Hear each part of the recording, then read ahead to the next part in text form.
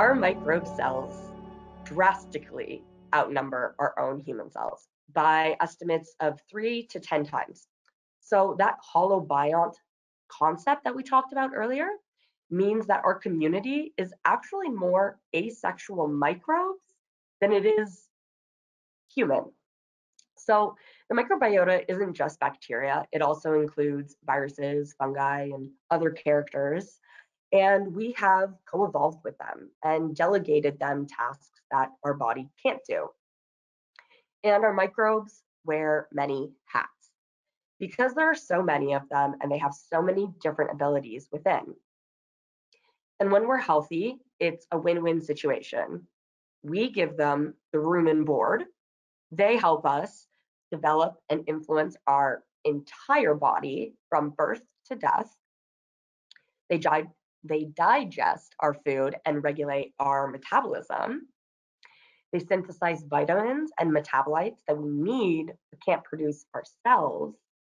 They keep bad microbes in check to keep us healthy, in part by maintaining our gut barrier, and they train our immune system to be strong. This seems like a fair trade, right? So what bacteria are there and in what amounts is generally stable. Though it can change from short-term influences, like a course of antibiotics, it usually bounces back. However, long-term influences, such as the foods we eat every day, stress, medications or substances, and severe infections can shift the composition in a more significant way. But to get from microbe to brain, we need to understand a little bit more about the gut-brain axis. First of all, we speak the same biochemical language, and that allows us to communicate back and forth, both directly and indirectly, using our neural, immune, and endocrine or hormonal systems, and the microbes that act through producing metabolites, but also acting directly at the gut barrier. This is what we call interkingdom signaling. So if we look over here on the right, uh, my right, um, we see a diagram of the gut-brain axis. So let's explore this a little bit more under the concept of stress.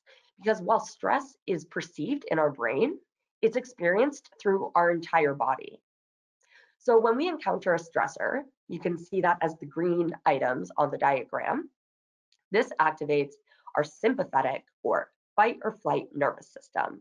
We get fast hormones like adrenaline and the slower response of the hypothalamic pituitary adrenal response, also known as the HPA axis. You've probably heard about this because this signals from your brain to your adrenals, which are right on top of your kidneys, to increase hormones like cortisol, these type of hormones mobilize the resources that we need for that allostatic response. At the same time, these hormones can make our gut more permeable, ideally so we can absorb as many nutrients as possible when we're stressed. Once the stressor is dealt with, cortisol actually turns off the HPA axis. The vagus nerve, which is that direct neural highway from our brain to our gut, is also our main parasympathetic nerve that helps our body reset. We can think of it as the brakes to the sympathetic response being the gas pedal. So to prevent disease and burnout, we must be able to turn this response on when needed and off when it's not. However, when we have chronic stress, this can change how our body is functioning cortisol can actually lose the ability to turn off the stress response. This can lead to elevated or dysregulated levels of hormones.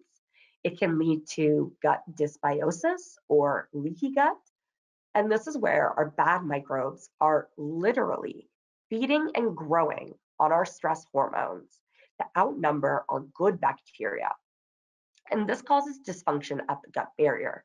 It's not actually leaky, but there's a lot of stuff going on there. These changes at the gut fuel low grade inflammation that makes its way to the brain, both by circulation and through the vagus nerve. This also prevents the parasympathetic vagus nerve from being able to calm our body down or calm our brain down.